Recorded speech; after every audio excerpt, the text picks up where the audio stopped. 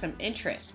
Fournette, in the games that he has played in, hasn't rushed for fewer than 100 yards, but he'll have his work cut out for him this weekend